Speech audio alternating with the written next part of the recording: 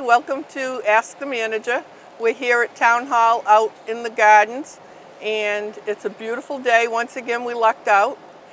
We were thinking about where we could be outside and thought there's no better place than this garden, so we came back to it.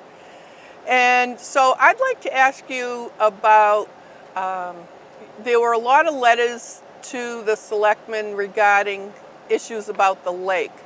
Is it that they need more law enforcement? Is there a lot of issues?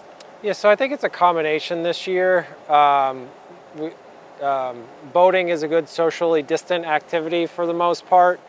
Um, but over the past few years, there has been a lot of activity on the lake and um, we've been looking to both increase Shrewsbury's presence on our boat and have more officers out there more frequent and get uh, better partnership, honestly, from the city of Worcester and environmental police. It's tough to do it on our own. Um, so yeah, it's, it's been a work in progress. We do need more police presence because of the activity. It's mainly maintain public safety out there. Um, a lot of folks don't follow the rules on the uh, your, the rules of the water and the speed limits and things like that. So it can become dangerous, um, and it's seemed even more so this summer because of the uh, increase in usage of the lake. And um, but it's something we're definitely working with the Lake Quinsigamond Association on and the residents that are interested, which most are around the lake, to, to try to increase our presence. Do you get cooperation from the City of Worcester, or more cooperation than we used to get? Yes, we are. We're on the right path with them over the last few years in partnership uh, with the City Manager's Office. We've been meeting with them directly, and um, they have a public safety boat that's manned or operated out of the fire department. Uh, it's the dive platform that's used, you know, in rescue situations for the lake. So, uh, but they've had a greater presence this summer. And um, like I said, we're looking to increase our presence. Providing consistency uh, with the amount of officers that we have on our boat and the time that we're out there during peak activity times of the weekend is really important and that's what we're focusing on. I noticed that there's boats on the lake, there are boats on the lake even at seven o'clock in the morning. Yeah. And that's different than what it used to be. Yeah. So the people that live along the lake, I know they have expectations that people are going to be using the lake, but it's got to be frustrating. Yeah, and I think that just goes along with, you know, as you know, like me, you know, a lot of people are doing more staycations, more local vacations, and um, it's a great place to put the boat in the water. There's two public boat launches and uh, a lot of parking which is good for the boaters, but you know, definitely drives up the volume of boats on the lake. And you know, people want to get a full day in. You do have to, you know, pay a ramp fee when it's uh, staffed. So um, looking to get the most out of their money and be out on the lake for the full day. So yeah, and activities expanded into the night, you know, which is a little more concerning. And then especially if you have individuals who aren't very courteous about the volume of their music and the activities that are going on in their boat those are the things that we're really looking to uh, inform and reduce the, the nuisance of. How's the quality of the water this summer on the lake? Yeah, we yeah, I mean Lake Quinsigamond's been rather good. I mean, knock on wood, we haven't had any sanitary sewer overflows. Um, we have been doing our normal monitoring and we haven't had any E. coli or any other uh, issues within the lake despite it being very dry. That's obvious. That's often a very challenging year whenever there's not a lot of rain and you know uh, replenishment and turnover of the water. Um, but Lake Quinsigamond's been open uh, almost entirely, if not the, the whole summer. We haven't had to close any swimming areas down.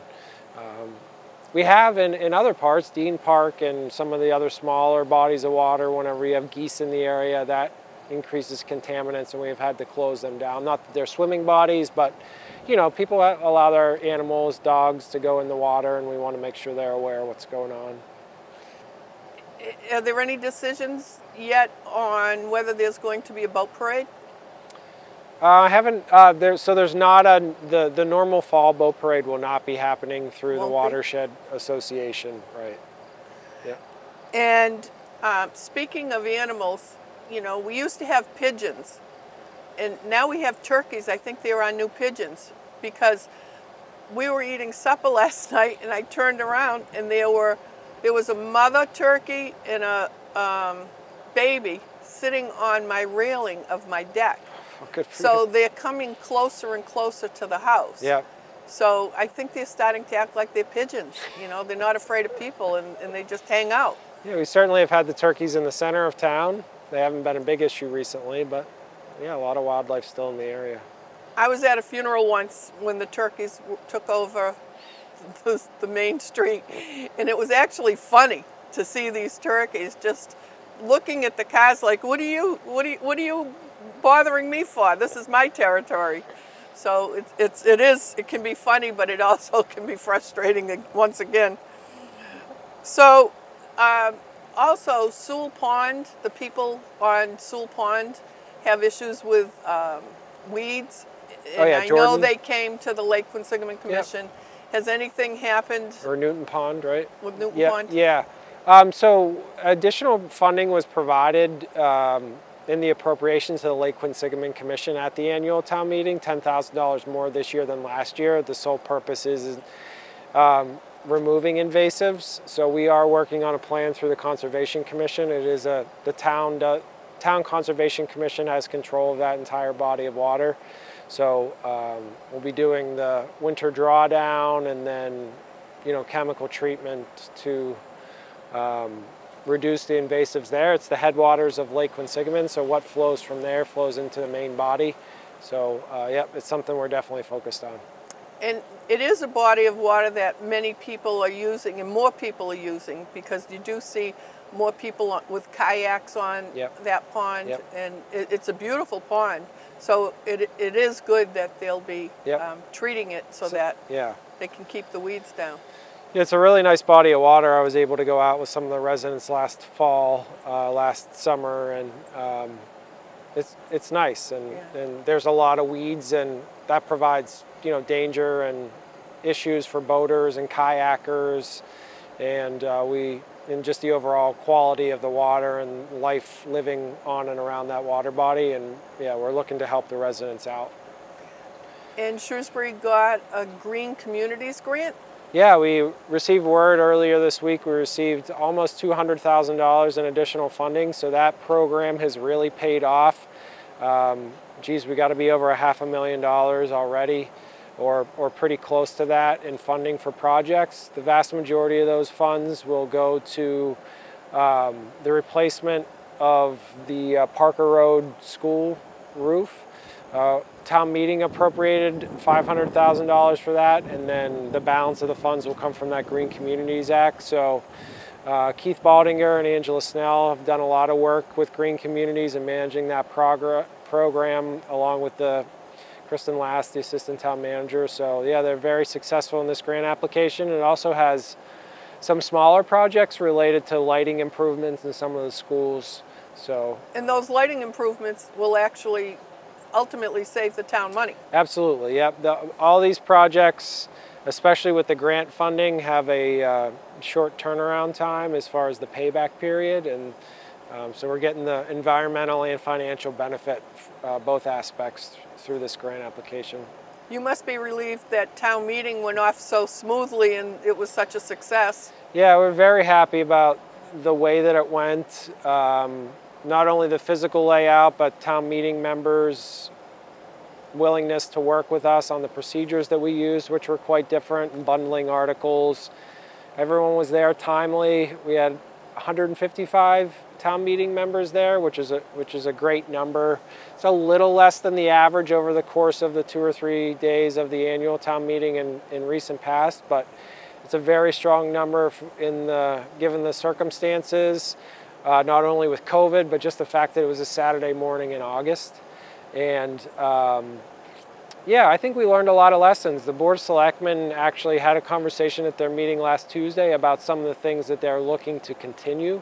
Clusters? Uh, yeah, clusters of voting and articles to help with the efficiencies, you know. Um, and quite frankly, part of the conversation, which they're a little less certain about, which I think is is the right approach to take, is the day and time of town meeting. Um, are we able to continue to hold it on a Saturday? Uh, would that uh, attract more town meeting members because it may be easier to get childcare, for instance, on a Saturday one-shot deal than say, well, it's going to be Tuesday and it might also be Wednesday. Will it be Thursday? Um, so one and done is something that I think is attractive to uh, on a lot of fronts, and we're going to see if we can continue that. So um, yeah, a lot of things to think about, and I have to admit I got a little anxiety earlier in this week thinking about we really need to get going on a fall town meeting. um, and what approach are we going to take on that?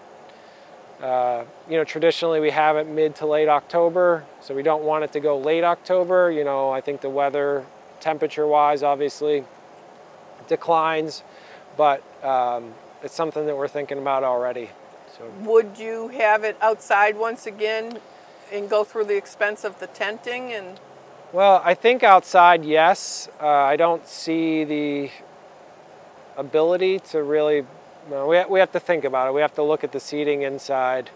Um, I would like to avoid the expense of the tent, but to be quite honest, um, whenever we need a sound system and we need SMC's equipment to be there and we need everyone to hear and potentially see uh, monitors and screens. You can't really set all that stuff out without some minimal climate control, i.e. don't let it get wet if it rains.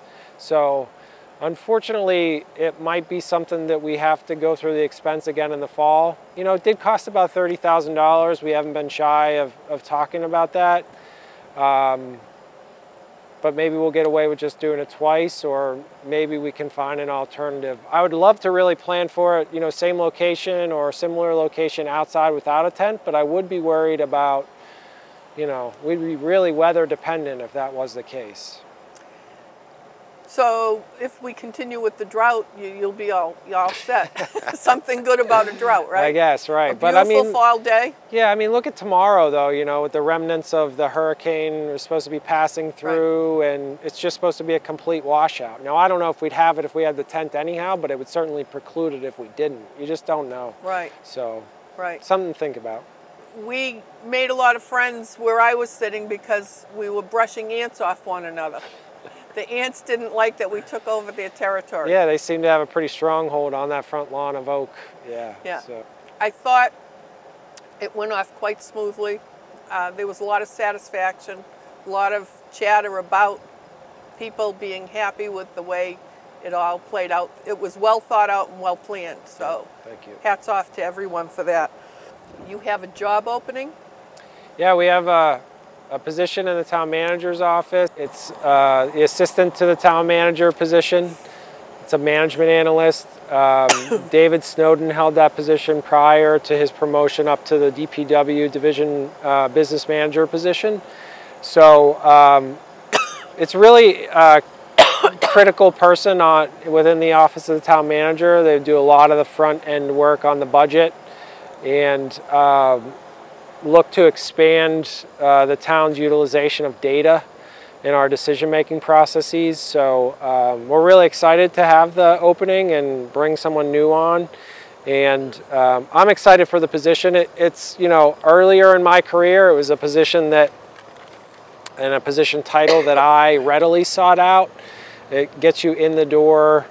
Um, and allows you to really understand the operations of the office of the town manager really well and, and contribute, be a, be a big contributor to uh, the mission of our office and, and work across all departments, both on the budget and, and through other initiatives. So yeah, we're really excited about it.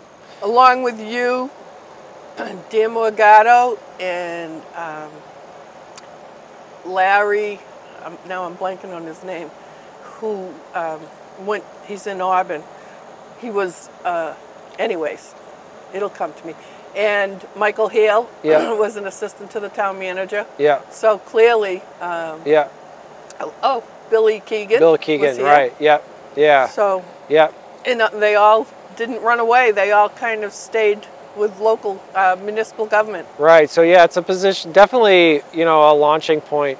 You know, we we want to retain someone as long as possible, but it's certainly well within our thought process when we hire someone that it's um, a good opportunity for succession planning from within. A lot of promotional opportunities after you know two, three, five years. Um, so yeah, definitely great. Now, there's a lot of weeds along Route 9, right along the median. Why doesn't the state do anything to keep keep the town looking beautiful? Yeah, I mean, I think it's uh, it's a good question to be honest. I don't have an answer.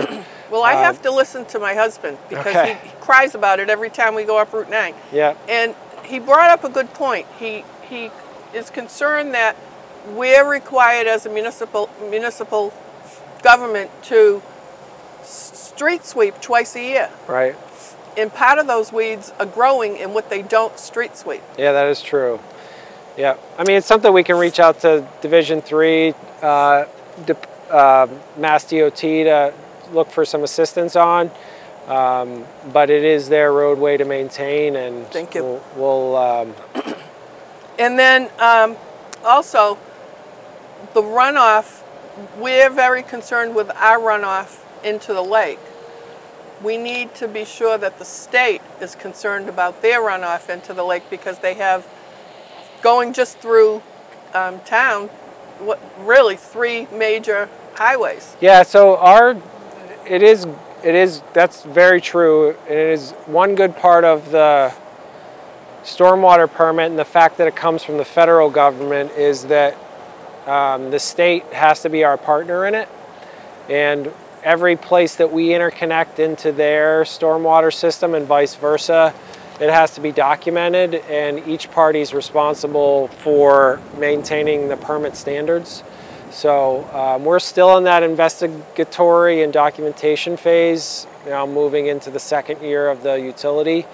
And uh, we have a lot of interconnections along those highways and, and, in other parts of the town with the, with the Commonwealth. And they have stepped up and, and been a part of that conversation and work for stormwater. Now, I just want you, are you satisfied with the Board of Health working with the City of Worcester? I think we do a great job, yeah. Um, I really like the model, and um, I'm advocating for that model statewide, honestly. As I mentioned on here before, I was fortunate to be appointed to a statewide commission on public health. And one of the recommendations from the subcommittee that I worked on was replicating models like we have here in Shrewsbury across the state to help communities find ways to get more uh, public health activities going on and manage their core responsibilities and actually allow us to expand the best practices and standards that we use for public health. So uh, the city's been very responsive. Um, I think that the partnership through this point has really paid the most benefits to the community in proactive public healthing, proactive public health activities. Um, but really, the public health nursing and the contract tracing um, that has gone on during COVID-19, um, they haven't missed a beat. And, and managing Worcester alone is, is a challenge for them, um, but they've done a, a great job. They've been very responsive. More recently, they've been providing almost uh, twice a week data to Dr. Sawyer and his team as they're going through their decision making processes and working with the teachers and reopening the schools. And um, so we're not lacking for information. I've been very pleased with Karyn Clark and, and her whole team and how they support the town. Well, my compliments to um, the city for their contribution and their commitment to us. I thought I'm gonna I'm gonna take a chance. The infection control nurse was coming out in me everywhere I went about a month ago, and I kept seeing violations. So maybe five or six different places, and finally I said, I'm going to call the Board of Health and see what kind of a response I get. So I explained, I'm sorry, it's the infection control nurse in me, but these are the things I see that you may want to know about. I went back to some of those areas and there were corrections made. Great. So they not only listened, they responded and followed up. And um, I give them a lot of credit for that because they must be so busy with Yep. all that's happening, but yet they were able to follow up with the issues that I saw. Some of them were simple, basic people type issues, Yep. and others were related to health care that Yep. I saw. And they they addressed it. So Yeah, I- I they would- advocate for us. Yeah, I would be remiss too. You know, we we still have one dedicated Shrewsbury employee, Carrie Stockwell. Uh, she manages the office here um, and all the activities and the coordination with the city of Worcester and um, the inspectors from the city and, and points them in the direction that they need to go. She answers my questions and and everyone else's questions. She manages all those things. I'm, I'm sure Carrie was the one that you likely spoke with and made that happen, and um, she does a fantastic job. It's Yep. it's a big it's a big task for one person, but she handles it with ease. Yep. When you talk about contact tracing, that is an absolute nightmare for someone to have to follow up with all of that and all of the calls and, and all of the backup that goes along with that. Yeah. So they, they've had an awful lot of work to do.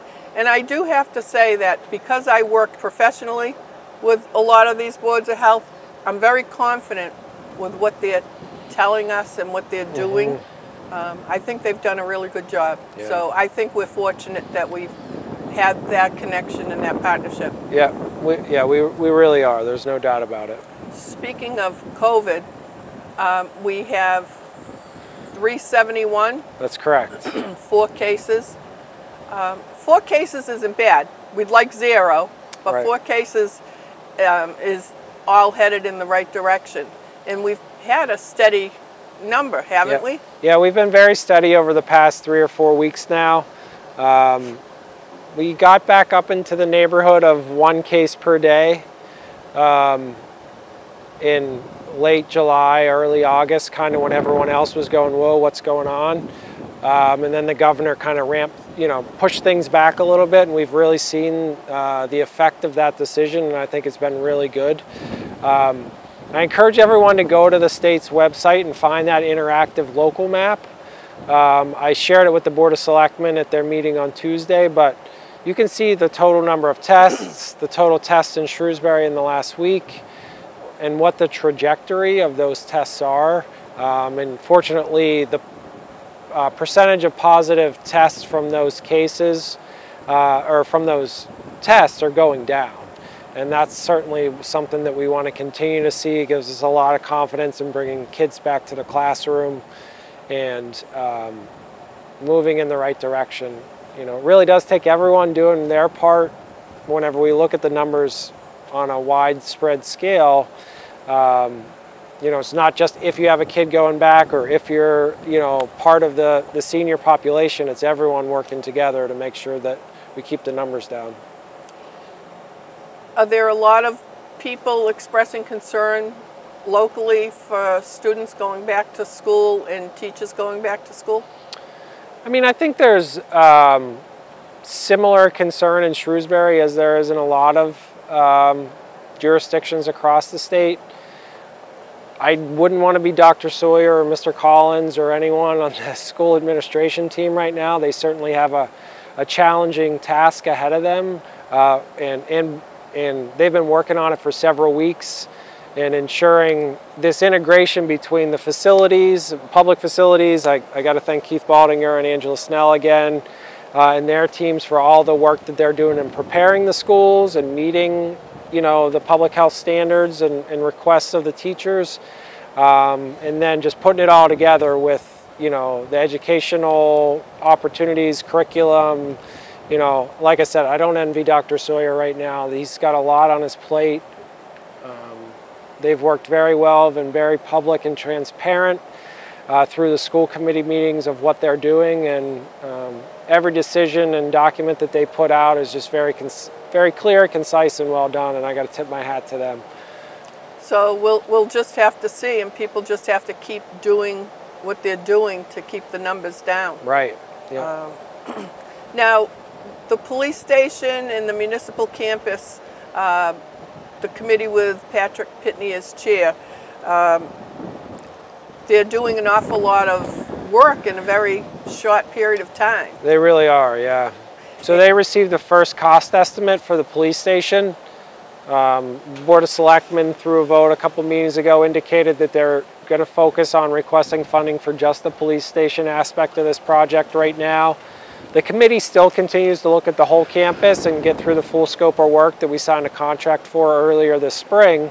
Um, but obviously we're pulling back on the scope of the project uh, quite a bit given the financial situation of not only town but you know you know everyone in town the residents so um, yeah the committee's done a lot of work to both get up to speed on the design process that or design and needs of the police department and then really transition into how are we going to build it? You know what procurement method are we going to use? What's it going to cost? Um, and what's a prudent recommendation to make to the Board of Selectmen on the, along those lines. So, Well, there's nothing wrong with doing the projects in steps. right. So, and you wouldn't want um, the major project to hurt what needs to be done with the police station. Right. So, with the police station, a lot of people are trying to be clear. Is the the current station going to be demolished? It eventually would be. So it can't be used for anything else? Well, we didn't feel that that was the best approach. Um, to be quite honest with you, that building is cinder block bearing walls throughout the entire uh, building. And it was built as a police station. And so it's hard to really go in there and, on a cost effective basis, one, bring it up to code, which we would have to do, and two, reconfigure it into some type of new professional office or conference space environment. You know, so it was really, it was considered, right? So if we need more uh, space for town and school offices on the, on the municipal campus, can we use that? And it, it, you know, it's just such a challenge. You know, the HVAC system's not adequate in it. Um, and uh, it's just not an easy process to go through. So the plan is, yes, to tear it down, but we'll get the benefit of it until we cut the ribbon. You know, we're not going to need swing space. We're not going to need to find a home for the police department until that new station is constructed. Um, the design has been managed such that the new building would be a sufficient, close, but a sufficient distance away to allow us to continue to occupy that space until we're ready to open the new one. So, not to be critical of the recent school buildings that were built without being brick, will the police station be brick to coordinate with the Yeah. campus, or will you follow with what they've done with the schools? there will be both two aspects. It will be brick, to be very clear. It will um, match the town hall and, and be appropriate for this campus, just like the senior center is. Um, and the police station needs to be a fortified structure and not just from, you know, a, you know, terroristic or individual threat standpoint, but, you know, it's where our dispatching center is. It's where um, we'll be able to provide 24-7 emergency operations. It'll need to withstand natural disasters. It's got to be the one building that's still there for us to function through heavy winter storms, hurricanes, who knows, you know, what we'll, we'll face. So um, the code for a building that's in that tier of um, you know public safety operations and critical infrastructure is quite substantial, and so brick is complementary to that. Um, and so it will be a brick building, and it will serve both the aesthetic and functional uh, purpose uh, because of that. I um, noticed that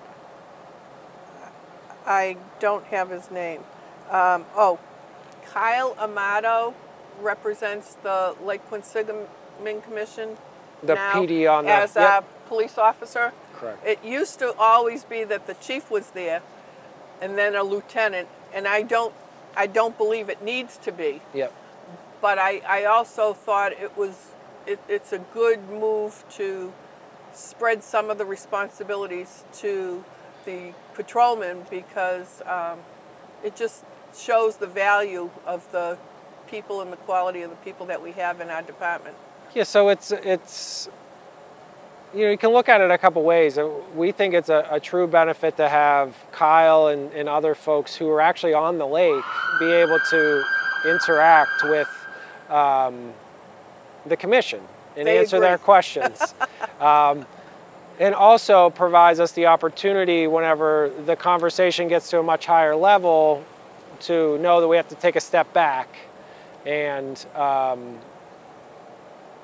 consult with the chief after the meetings and make the decisions and not be kind of pressured into you know uh, a knee-jerk reaction when dealing with you know longer term or more comprehensive decisions by the Lake Quinsigamond uh, Commission. So um, yeah, I, I think it's it's a good balance. Uh, we like input at all levels for, throughout the organization. It's a model that we're really trying to push, and I think it's a good example. Um, Route 20 construction. It started on Lake Street, has gone all the way down. Is it done? Uh, not quite yet. I was down there earlier this week. We're um, still doing some work, but we're, yeah, a lot of good progress. Um, being able to work during the daytime, less traffic, all those hurdles that we were going to have to overcome pre-COVID. You know, it's one of the benefits that we've been able to move more diligently. Uh, got a good contractor out there, and uh, we're making significant progress in that expansion. And um, what's the timeline now for the Edgemere project or the Market Basket project? It's, it hasn't been delayed. They're still in their due diligence period with their comprehensive environmental permit, and um, a lot of conversations have still been ongoing with um, Mass DOT with Route 20. Um, we'll ultimately need to, and a decision has been made to turn Purinton into a cul-de-sac. So we need to think about underground infrastructure and the roadway surface itself. Uh, it's a big project and a lot of changes in that Route 20 corridor. And lowering the speed limit. Yes, they, it actually already has been in some areas, um, and um, we'll see what happens with that section. But yeah, a lot of positive um, things going on in the Route 20 corridor. Now the um, marijuana dispensary is open. Yep. The um, first one. Yeah, Verilife, 939 Boston Turnpike on People Route don't 9. even know it's there. Yep, that's a good thing, So right? that's a good thing. That's a positive. Yeah. Um, there aren't long lines. Um, The uh, police officers present. Yeah, we've had a lot of close communications continuing with Verilife, the, the, the retail operator there. Um, they started off appointment only with, you know, number of police details and have evolved over time into a more conventional uh, retail operating model and they're finding success, which is a good thing for the town.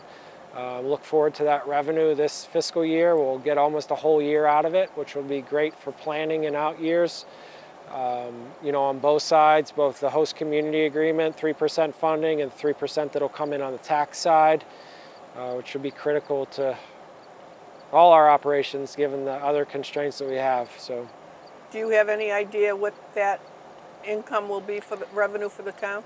I don't know yet. You know, there were projections that, you know, roughly there, a community like Shrewsbury and the surrounding area would produce about $16 million in sales, you know, net sales at the retailer. Um, town would get ultimately about 6% of that. So um, it's still early. You know, they've only been open for about a month, but it's certainly on my list to follow up with them and see what the numbers are. They provide those funds both to us and the state quarterly. So um, not exactly sure when the you know the, the first report will be due, but I would say before the end of the calendar year, certainly we'll have a better idea of how their initial months of operations have gone. and it'll take a while. You'll receive the revenue quarterly. That's correct. From that's how the host community agreement was established. So that three percent, and then the state distributes all their state aid quarterly. And since it's a an excise tax, it will come in that way. And to be clear, the, the police officers working there are paid by, not by the town. Correct, directly by the retailer itself. When they pay for a police officer, does the town receive any money at the same time? Yeah, I mean, that- there's a little bit of difference, about a 10% difference about our, the rate that we charge and the officer's detail rate. That provides us with the overhead of scheduling and, um, you know, the cruiser going out there and all those things. So, yep, the, the town receives direct funding as well. Now, Main Street to Northborough. Pretty bumpy road these days. It is, yeah. Um, that's due to um, a number of infrastructure projects that were that are that have gone on, mainly water improvements, um, all planned in advance of a complete repaving and reconstruction of that roadway by the state. It's a state-owned road, um, and we thought it could happen this season, but it doesn't look like it's going to happen. So next summer, we'll make sure we plan with the state highway division throughout the winter to make sure it's top priority for next summer and get it repaved. Well, because that's unfortunate because the, the road's a mess. Mm-hmm. And for the people that ride on that part of the road daily, Mm-hmm. it's got to be a real frustration. And I can't imagine, will that have any damage to the plows going down the street? Um, it's pretty much in the same condition as it was in la- as last winter. You know, it does settle over time, but the contractor will be responsible for coming up and shoring it up before the the winter. You know, any new work that was done this year, which there was some, and um, minimal, but it is it is a state roadway. Well, I can tell you they're bringing more business to the auto industry because anybody who needs shocks in their car, if they drive down that street, they're going to get them sooner rather than later because it is quite a bumpy ride. so, um, animal control, how is that working with the intermunicipal process? I think it's really good. Um, potentially some opportunities for expansion of that. You know, we do partner with the town of Westboro and Grafton. Um, Grafton and Westboro have more operational overlap. We're, we really just back that animal control officer up whenever Keith Elms, our ACO, is, in, is available to back them up, and vice versa. So, um, you know, that's you know we've been we're a couple years into that intermunicipal agreement. It means you know in the past whenever the ACO was out on vacation, we didn't we didn't have an ACO. You know, so um, this provides us the opportunity for more consistent coverage throughout the year. It gives the ACO the opportunity to make personal vacation decisions a, a little easier. Um, but it, it's worked out very well, and we'll see where it goes in the future. But uh, I see it expanding versus contracting. And we got a new council on aging van. Yes, we received a, a new Council on Aging van. Um, came in, you know, another community wasn't able to maintain it through their federal grant program and responsibilities, and it gave us an opportunity to acquire it uh, at a very reasonable price that was actually covered by Chief Joseph once again. And um, so that allows us to replace our nearly 15 year old uh, van.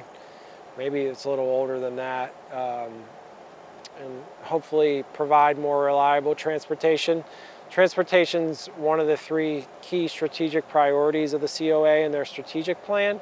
So, um, yeah, that's a step in the right direction for that. So, Can you pronounce Chief Joseph's last name?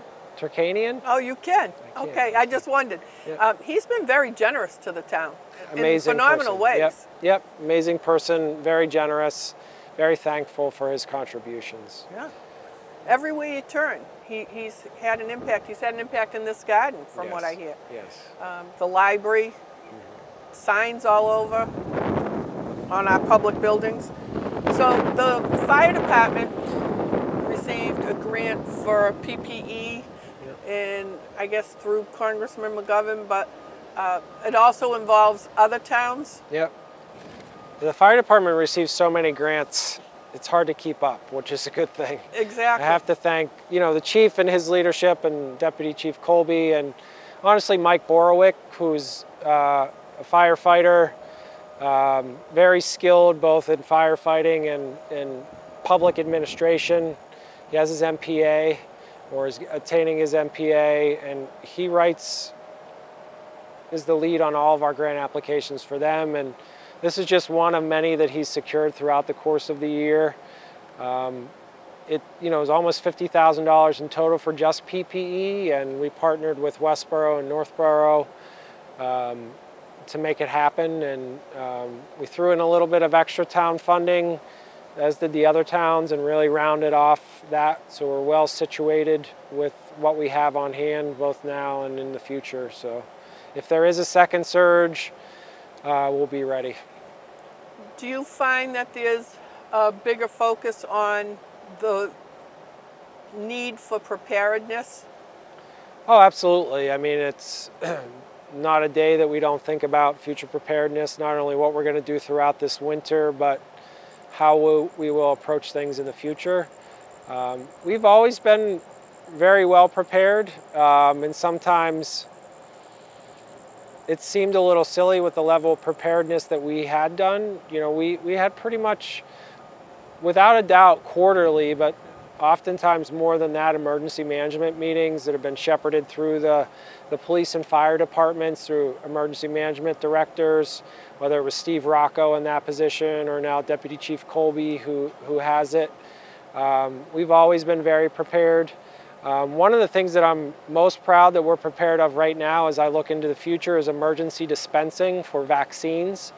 Um, that comes in partnership with the Central Mass Regional Public Health Alliance, but we've done drills and planning, you know, last summer, as recent as last summer, about uh, being a regional distributor through the federal government even of vaccines. We, did, we didn't know what the next one would need to be, um, but now we do, and we'll, we will be ready if, if it's through the public health model that vaccines are distributed for COVID 19. So, um, is, is, there discussion about um? Yeah, it, it, there is discussion. Luckily, it hasn't been very close to home yet. Um, they've done some spraying out on the Cape and in Plymouth, things like that, through the Department of Agriculture. Um, something we monitor through the Board of Health once again um, on a day-to-day basis. We are testing for mosquitoes just like we did last year. I think we're benefiting. One way we benefit from the drought, right, is less mosquitoes. So uh, take the good with the bad. And um, hasn't been anything really in central Massachusetts. It's all been in eastern Mass at this point, but and we really should talk about the beetles, the Asian longhorn beetles. Yeah. There's still work going on in town. Yep, there will be for many years to come. Still doing survey work. It's all been negative so far uh, in recent years, but it's something that the U.S. Department of Agriculture is still has the lead on. I get a weekly report. Uh, it's all been good so far. Have you attended Food Truck Thursday? Not personally. Um, I'm proud of the, the, success and the partnership that we've had with the private businesses. Um, we had a little too much success in the first week to meet with the governor really? to meet the governor's uh, revised 50 person in uh, gatherings, but we kind of ramped things back down. We may expand um, the locations to include some of the school sites near the center uh, in future weeks. Um, we found that four trucks on the town hall put us in a position where we were just asking for more than 50 people to be on site. So, yeah, we pushed that back, but I'm really happy. It's a unique thing that, again, hopefully is another silver lining that comes out of this, a partnership with those local businesses. Uh, you know, Shishka Berries and Say Cheese are two food trucks that are um, make their home, or the residents of Shrewsbury operate them. So uh, we're happy to have a really tight relationship with um, Jim and um, be able to uh, manage it, you know, that way. So we, the town has provided the space and the public health oversight, and we've given very clear direction to them on what we want to see and what we don't want to see, and they've managed it on their own. So That's it's a great. great partnership. And what about New Beal? not a day goes by without work up there. I mean, it's moving right along. It's on schedule. It's under budget. It's all those wonderful things that we like to talk about.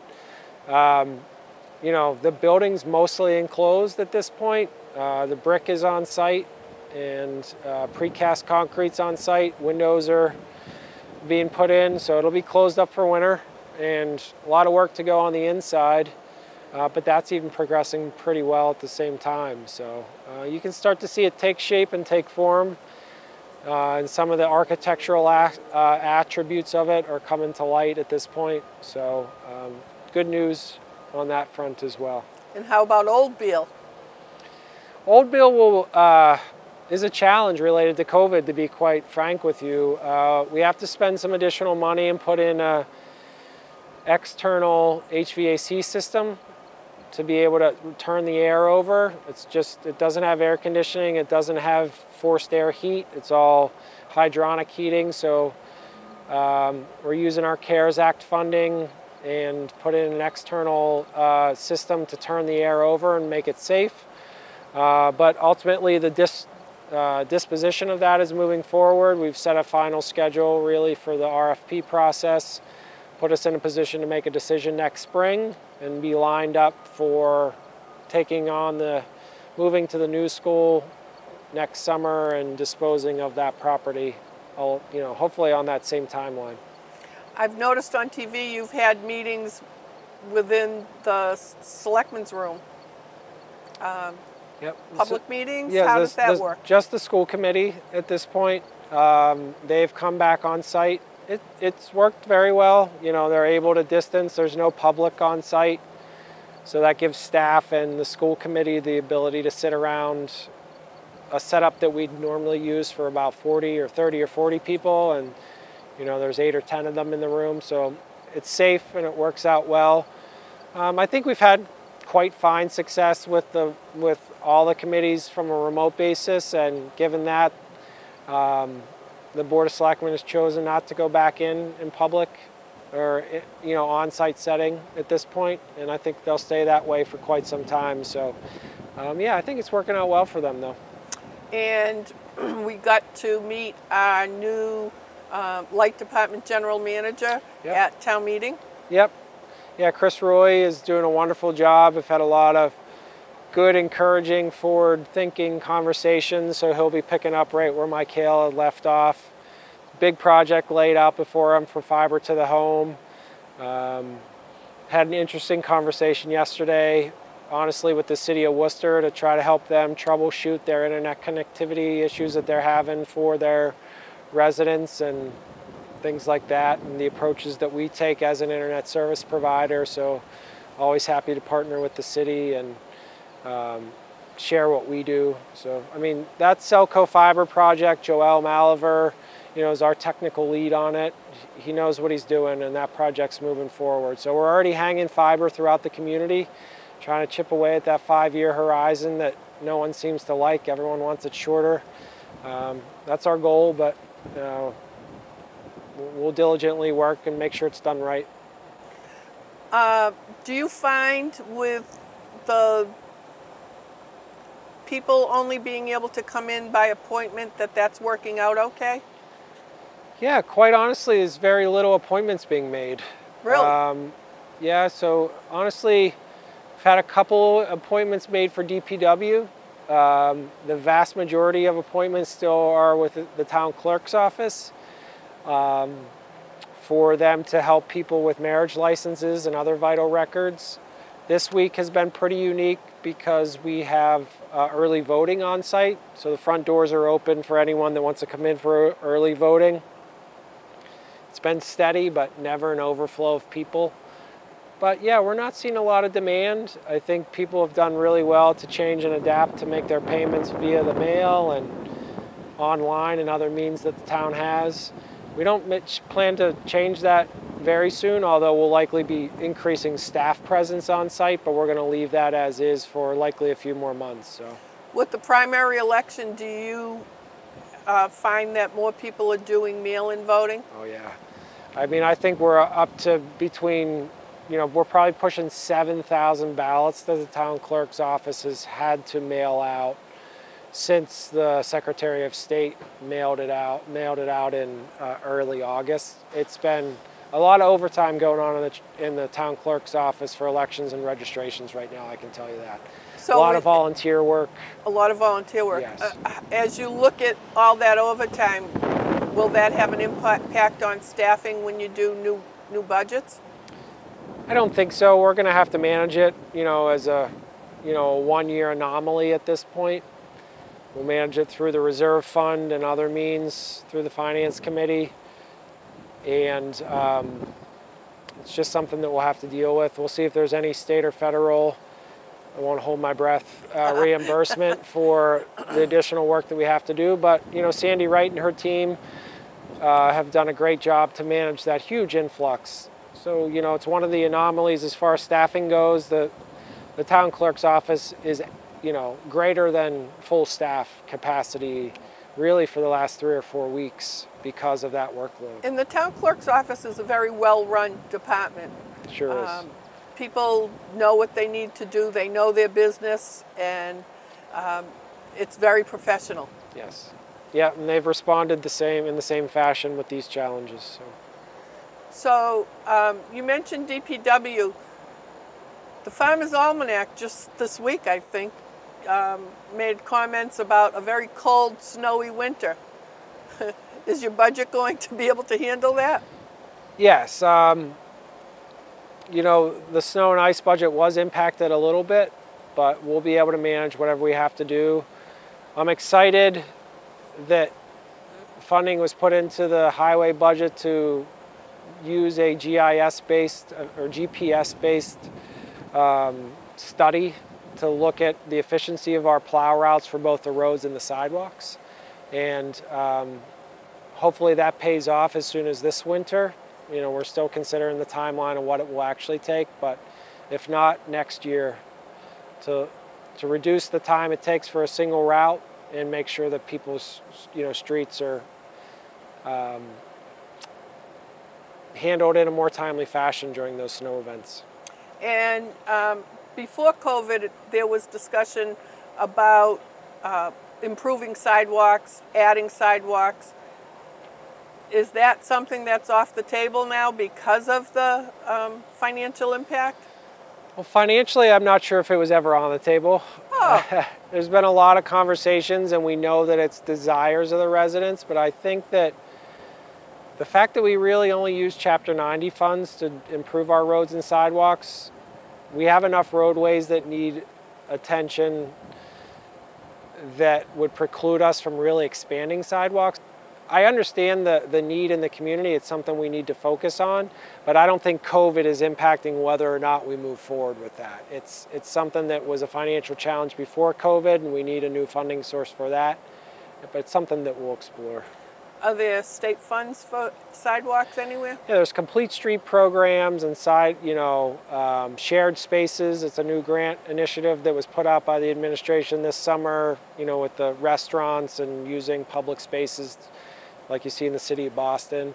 So there, there's a growing number of sources for alternative modes of transportation, including sidewalks. So we're excited about that. Has the revenue um, started to increase with uh, restaurants in, in the past month or two?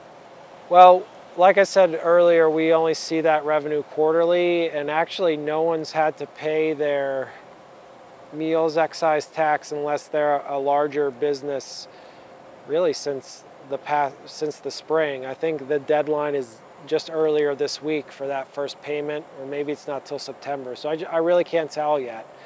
Uh, we'll receive our next round of state aid funding in October, and get a, give us a better understanding at that point.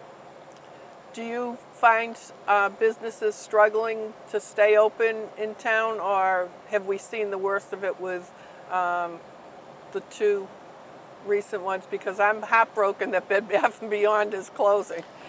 We don't And- get a lot of immediate data um, on restaurants, except for if they have a liquor license and they would turn that in, um, or some, you know, related to that. What about stores, retail? You know, we haven't heard that uh, any specific closing outside of the ones that you mentioned. That doesn't mean, you know, some smaller retailers haven't had to close up shop either temporarily or permitting, but it's not something, or, or temporarily or per, permanently, but it's not something that we have a good immediate understanding of. My uh, grandson has had, from Connecticut, has had baseball games in Massachusetts recently. And he's had a couple of games, or a few games, that have been held at St. John's. So the people from his area, and, and actually the players are from all over different parts of Connecticut, um, have been very complimentary to our town. A lot of them have made a big, um, a big point to impress upon us that we live in a beautiful town. And they come from some pretty nice places too. But um, I was very proud. And I have to say that um, as much as I view St. John's as a rival because I'll always be loyal to Shrewsbury High School, um, I was very proud to be there to see what their beautiful um, ball fields have developed into. Right. Um, so, you know, we're, we're, we've got some good stuff happening in town. Sure. Yep. So this was our first hour show since March or February, and it's been a fast hour once again. Torturous for you because you had to listen to just me. But um, I'd like to thank everyone for watching. But I want you to know, come up here. There are so many butterflies over here, and, and I've been very distracted because they're all behind Kevin. And there's multiple butterflies flying around on the bushes. And if you notice me coughing, it's because once I sat near all of um, these beautiful plants, my allergies came out. But I'd like to say thanks for watching, and we'll see you next time.